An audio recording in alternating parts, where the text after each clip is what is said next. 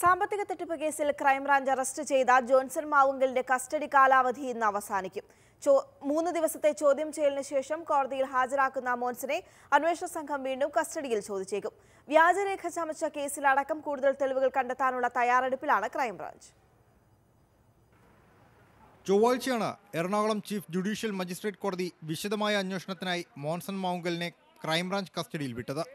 മൂന്ന് ദിവസത്തെ കസ്റ്റഡി കാലാവധി തീരുന്ന പശ്ചാത്തലത്തിൽ ഇന്ന് കോടതിയിൽ ഹാജരാക്കുന്ന മോൻസന്റെ കസ്റ്റഡി നീട്ടണമെന്ന് അന്വേഷണ സംഘം ആവശ്യപ്പെട്ടേക്കും.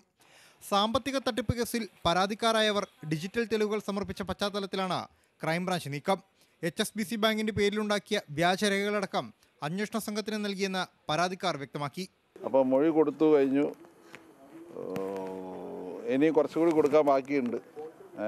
ആവശ്യമുള്ളത് കൊടുക്കും. നമ്മളോട് മെയിനായിട്ട് ഫെമയുടെ കാര്യം പറഞ്ഞിട്ടാണ് പൈസ വാങ്ങിയത്. അത് ട്രാൻസ്ഫർ ചെയ്യാൻ ഡീറ്റെയിൽസും കാര്യങ്ങളെല്ലാം നമ്മൾ കൊടുത്തിട്ടുണ്ട്. അതിനിടെ മോൻസന്റെ വീട്ടിലെ വാഹനങ്ങളുടെയും ആനക്കൊമ്പ് അടക്കമുള്ള വസ്തുക്കളുടെയും പരിശോധന മോട്ടോർ വാഹന വകുപ്പും വനം വകുപ്പും നടത്തി.